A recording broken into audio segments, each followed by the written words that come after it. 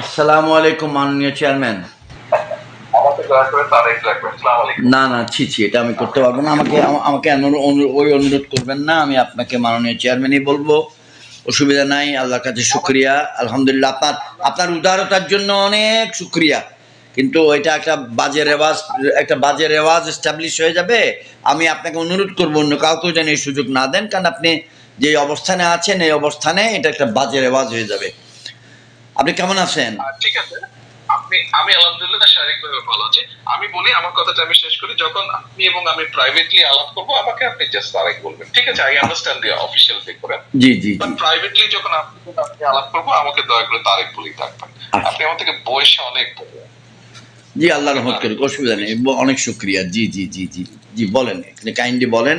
আপনি রিং দিছিলেন ছয়টা বাজে ঠিক সন্ধ্যা ছয়টায় বাংলাদেশে।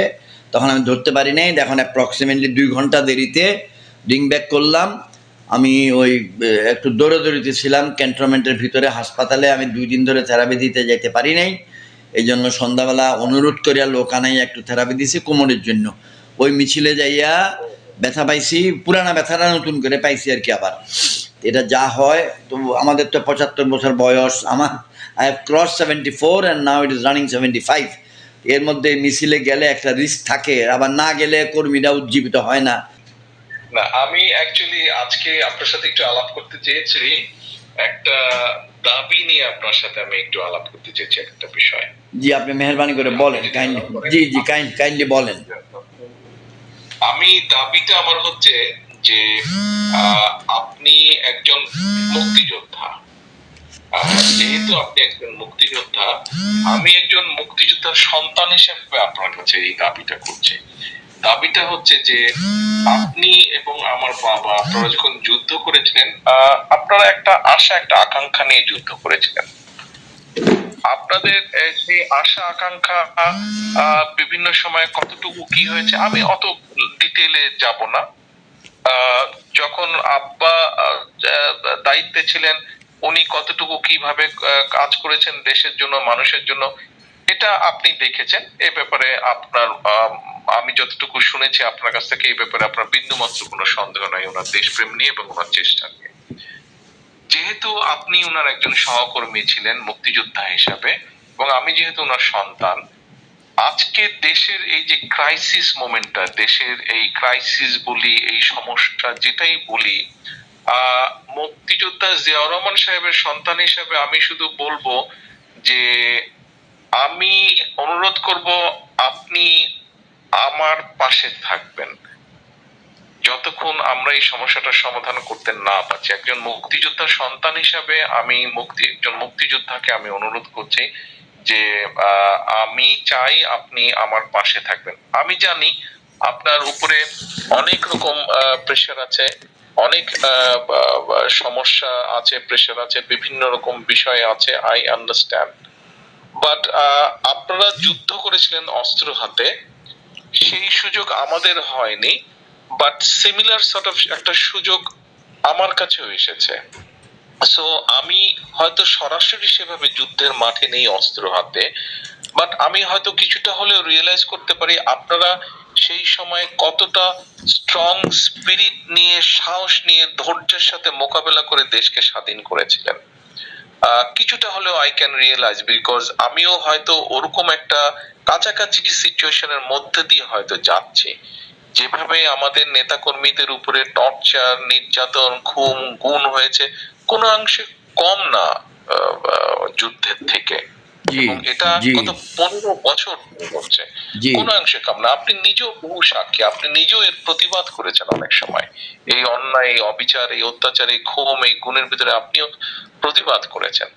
আমি সেই জন্য আপনারা যে আশা আকাঙ্ক্ষা নিয়ে যুদ্ধ করেছিলেন কাছাকাছি একটা বিষয়ের মধ্যে দিয়ে আমিও যেহেতু যাচ্ছি সেই জন্যই আজকে আমি আপনাকে আহ, বিনীতভাবে অনুরোধ করব একজন মুক্তিযোদ্ধার সন্তান হিসেবে একজন মুক্তিযোদ্ধাকে যে আমি দৃঢ়ভাবে বিশ্বাস করতে চাই যে এই সংকট যতক্ষণ সমাধান না হচ্ছে আপনি কি আপনার গাইডেন্স আপনার অ্যাডভাইস সবসময় আমাকে দিবেন আমি আপনাকে আমার পাশে পাবো।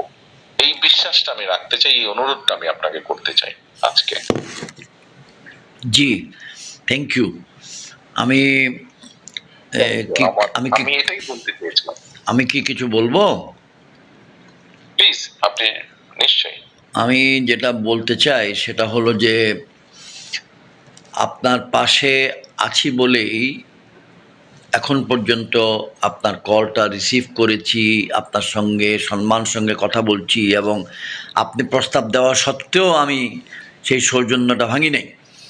কিন্তু আমাদের অতীতে অনেকগুলো ভুলভ্রান্তি হয়েছে।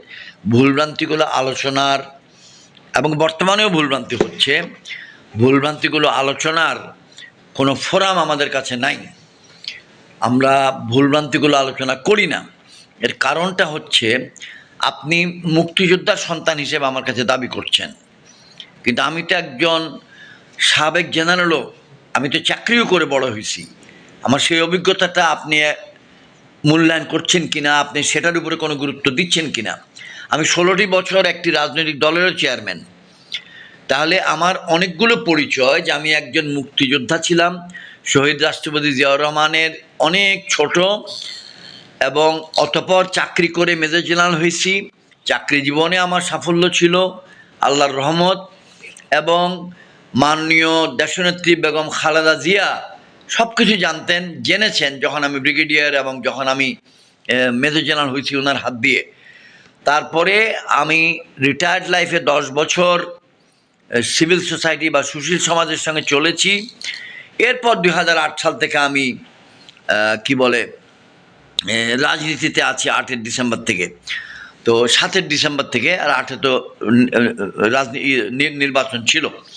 তো আপনি যেই আশাটা আমাদের কাছে, আমার কাছে ব্যক্ত করলেন, এটার জন্য অনেক অনেক সুক্রিয়া অনেক সুক্রিয়া। কিন্তু মুক্তিযুদ্ধ এবং সেই অভিজ্ঞতাটা হলো ইয়াং জেন ইব্রাহিমের। আজকে তো আমি সেভেন্টি ফাইভ ইয়ার্স ওল্ড তাহলে এই মাঝখানের যে অংশটা আছে, এই অংশটার কোনো মূল্যায়ন আমি আমার বর্তমান রাজনৈতিক পরিমণ্ডলে পাই নাই। আমার বর্তমান রাজনৈতিক পরিমণ্ডলের রাজনৈতিক দলের চেয়ারম্যান আছে ক, খ, গ, ঘ, উম, চ, বর্গীয় জ। আমি এই ছাব্বিশটা বাংলা বর্ণমালার একটা বর্ণমালা। তাহলে আমার এই ক্যারিয়ার আমার এই চিন্তা, এটার অবস, এই অভিজ্ঞতা কোনোখানে প্লেস করার কোনো ফোরাম আমি আপনাদের কাছে পাই নাই। আমি এই জন্য অনেক দুঃখিত এবং ব্যথিত। আমি মাননীয় চেয়ারম্যানকে বলছি যে আপনার ধৈর্যের উপরে আমার আমি যদি চাপ দেই, এটা ক্ষমা করবেন, কিন্তু আমরা একটা আলোচনাটা করে নিলে ভালো, যেন আমি একটা অবদান রাখতে পারি। প্রচণ্ড বৃষ্টি এসেছিল মিছিলে, প্রচণ্ড আমাদের আন্দোলনের সময়। সব রাজনৈতিক নেতারা যার যার ঘরে ঢুকে গেছে, দোকানে ঢুকে গেছে। কিন্তু জেনারেল ইব্রাহিম তো যুদ্ধ করছে বৃষ্টি মাথায় নিয়ে। শহীদ রাষ্ট্রপতি জিয়াউর রহমান যুদ্ধ করছে বৃষ্টি মাথায় নিয়ে। শহীদ রাষ্ট্রপতি জিয়াউর রহমান আর্মিতে রাত্রেবেলা মার্চ করেছে, বৃষ্টি পড়তেছে কিন্তু মার্চ করেছে সৈনিকদের নিয়ে। আমি আমার আন্দোলনের সহকর্মীদের ফালাই নেই। আমি বৃষ্টির মধ্যে দাঁড়াইয়া, চেয়ারের উপর দাঁড়াইয়া বাংলাদেশের পতাকা নিয়ে স্লোগান দিছি। এটা তার কেউ করে নাই। এখন যারা ফটো সেশন করে আপনাদের কাছে পাঠায় বিএনপি অফিসে পাঠায়, ওখানে পাঠায়, সেটা আর আমার মধ্যে একটা তফাৎ আপনারা সৃষ্টি করতে পারেন নাই।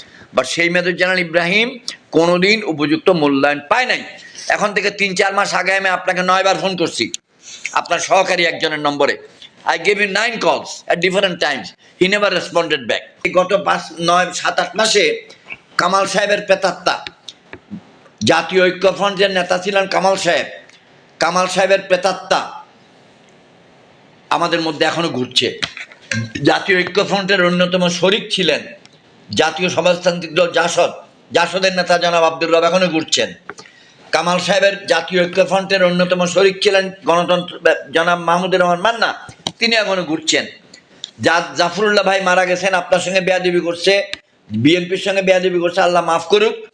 তিনি তার প্রেতাত্মা শেখ রফিকুল ইসলাম বাবলু ঘুরছে। এবং বিএনপির ঢাকার নেতৃত্ব, ঢাকা হাইকমান্ড গণতন্ত্র মঞ্চের প্রতি এত দুর্বল যেটা আপনাকে ভাষায় আমি বুঝাইতে পারব না। I am a die hard soldier of শহীদ রাষ্ট্রপতি জিয়াউর রহমান আমার এই আনুগত্যের মধ্যে কিছুই নাই। আমার এখন দশ কোটি টাকার ঋণ আছে, দশ কোটি। এই দশ কোটি টাকা ঋণ হওয়ার কারণ হইল আমি ষোলোটা বছর রাজনীতি করতেছি, আমার নিজের ঘরের খাইয়া ঘরের পয়সা দিয়ে আমার ফ্ল্যাট বেচছে, আমার বাড়ি বেচছে, আমার জমি বেচছে। কারণ একটা পয়সা এই বাংলাদেশে আমাকে কেউ কোনোদিন দেয় নাই।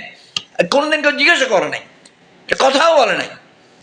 একদম so we are living a very difficult life এখন আমার যদি কেউ এসে বারো কোটি টাকার একটা অফার দিয়ে বলে, তোরা বারো কোটি টাকা দিমু। তাহলে আমার সামনে কঠিন প্রশ্ন হয়ে দাঁড়ায়, যে আমি কি আমার সততা রক্ষা করব, না বারো কোটি নিয়ে যাব? কিন্তু আমি আজকে মারা গেলে আমার ছেলে মেয়েগুলো টিম হবে। কিন্তু আজকে একটা ডেসপারেট সিচুয়েশনে যেখানে আওয়ামী লীগ আমাদের ঘাড়ের উপরে দাঁড়ায় আছে, আমার বাড়ি ঘর ক্রোক করাবে ব্যাংকে দিয়ে, আমার বাড়ি ক্রোক করাবে ব্যাংকে দিয়ে। বলতেছে, তুমি নির্বাচনে আসো। আমাকে বলতেছে, স্যার, আপনি কোনোখানে অ্যাক্সিডেন্ট হয়ে যেতে পারেন, যদি আপনি আমাদের সঙ্গে না আসেন। আমি সেই লোভ, লালসা রেজিস্ট করে চলতেছি। তারা বলছে, আপনার এত কোটি টাকার লোন আছে, এই লোনের জন্য আপনার বাড়িটা ক্রোপ করা হবে। আপনার তিনটা ফ্ল্যাট আমরা ক্রোপ করাই দিব। এত কিছুর মধ্যে আমরা বেঁচে আছি। আমি ষোলো বছরে কোনো বিজনেস করি নাই। তাহলে আমি চলি কেমনে? How do I run my family আমি ধার করে, দেনা করে, রাজনীতি করি, আর আমার পরিবার চালাই আমার ছেলে চাকরি করে বলে চলে, আমার পঞ্চাশ হাজার টাকা ভাড়া পাই বাড়ির এটা দিয়ে আমার পরিবার চলে। আমি চড়ি একটা পুরানা করলা গাড়িতে, আমার কোনো জিপ নাই। কই, আমি তো এগুলো নিয়ে চিন্তা করি না। কেন? যে আমি আমি শহীদ জিয়ার মতো চলি। উনি যেমন এক সুটকেসে চলতেন, আমি এক সুটকেসে চলি। উনি যেমন পায়ে হাঁটতেন, আমি এক পায়ে হাঁটি। উনি যেমন সবজি খাইতেন, আমি সবজি খাই। আমার নেতা শহীদ জিয়া শহীদ জিয়া শহীদ Zia. I have never had any doubt in my life আমি অনেক বলে ফেলছি I apologise I apologise I apologise I apologise আমি ক্ষমা প্রার্থী। আমার কথায় যদি আপনি মনে কষ্ট পেয়ে থাকেন আমার দৃঢ় বিশ্বাস আপনাকে গত বারো বছরে কেউ এত ন্যাংরা এত ন্যাংটাভাবে কোনো কথা বলে নাই। আপনি যদি শেষ করে থাকেন তাহলে আমি অল্প আপনি অল্প বলেন বেশি বলেন আমরা একদম ধৈর্যের সঙ্গে শুনব।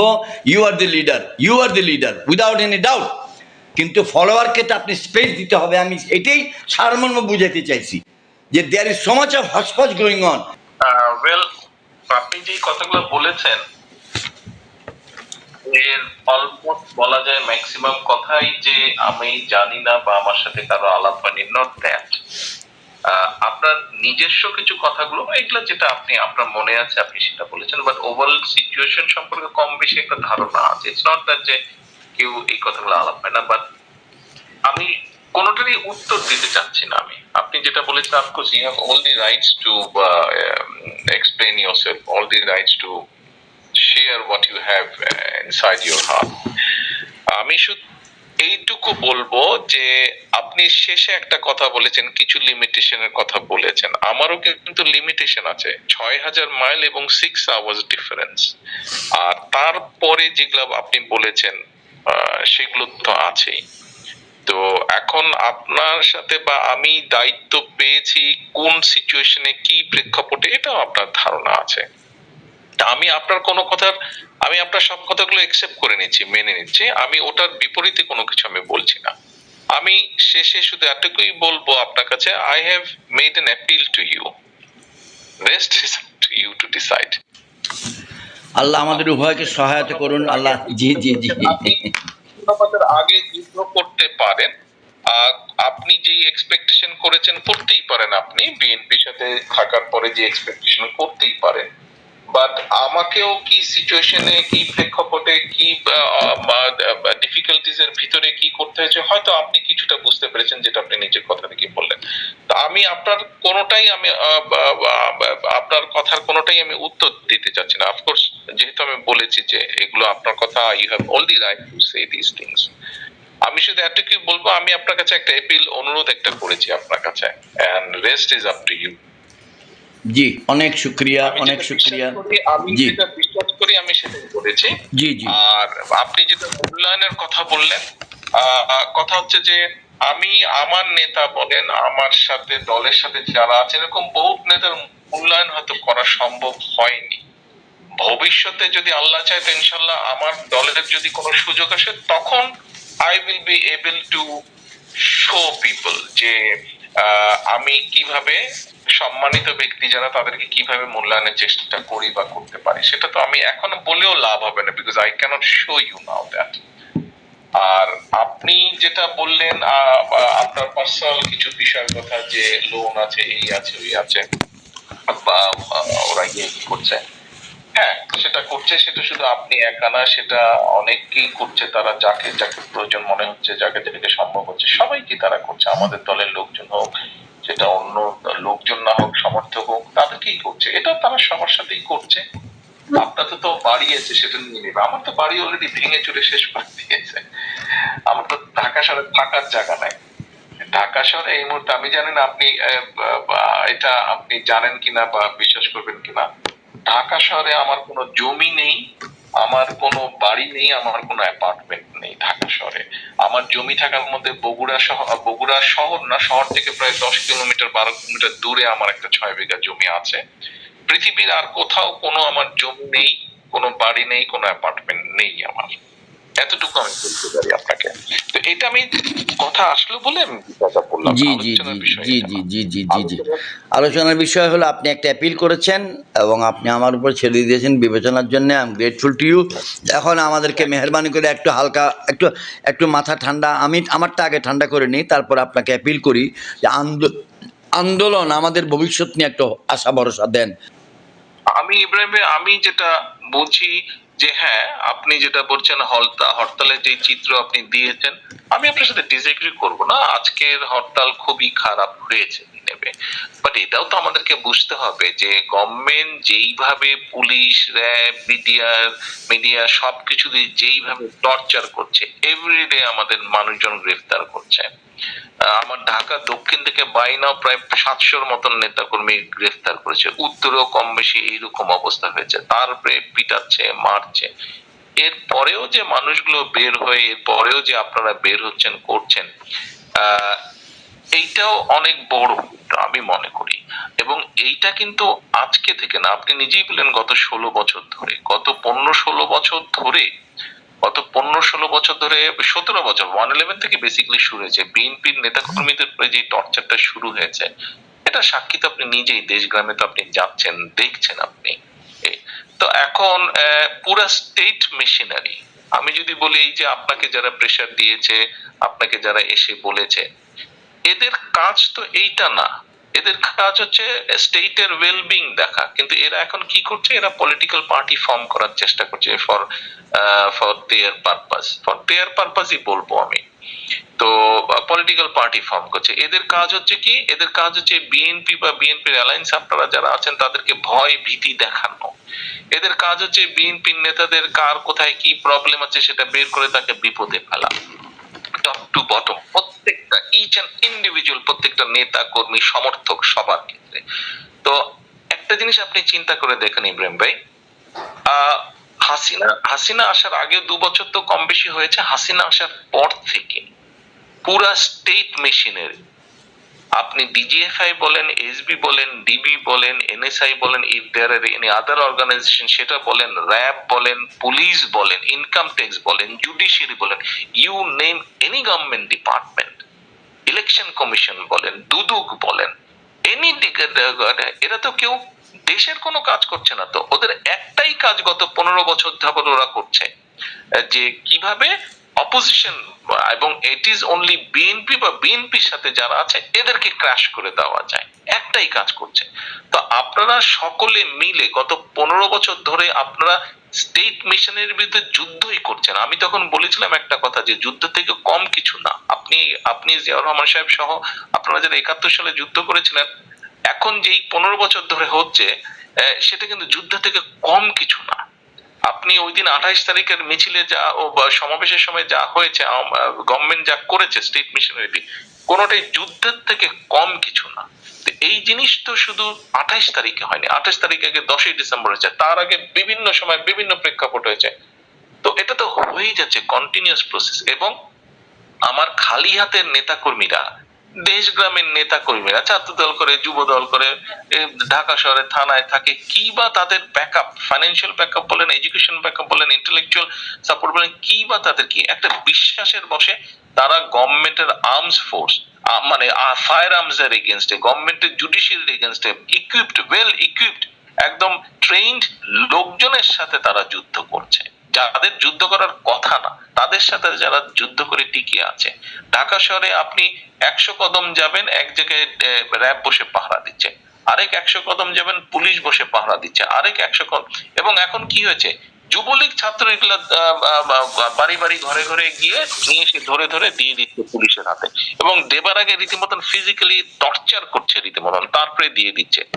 এই পুরা জিনিসের এগেনস্টে আপনি যদি মনে করেন, দুই কোটি চল্লিশ লক্ষ লোক যেই শহরে বাস করে, সেখানে একদম স্ট্যান্ড স্টিল থাকবে হরতাল, প্রত্যেকটা হরতালে, এটা তো মনে হয় ইমপ্র্যাকটিক্যাল এই প্রেক্ষাপটে আমাদের সামনে একটি আলোকবর্তিকা হলো আপনি because you are our leader আপনি আছেন সেই জায়গায় শত কষ্টের মধ্যেও।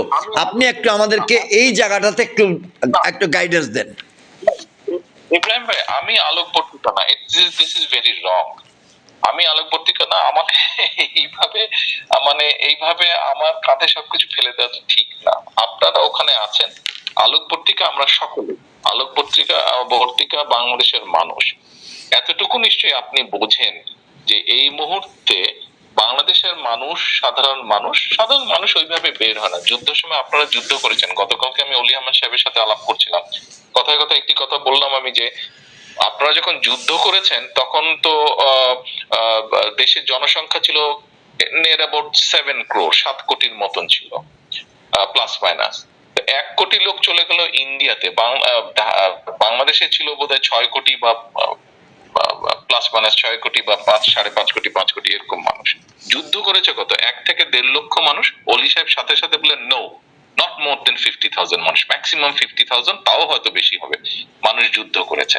উনি ফিফটি থাউজেন্ড কথাটা বললেন। আমি বললাম যে, সরাসরি বা ডাইরেক্টলি ইনডাইরেক্টলি হয়তো এক থেকে দেড় লক্ষ মানুষ যুদ্ধ করেছে।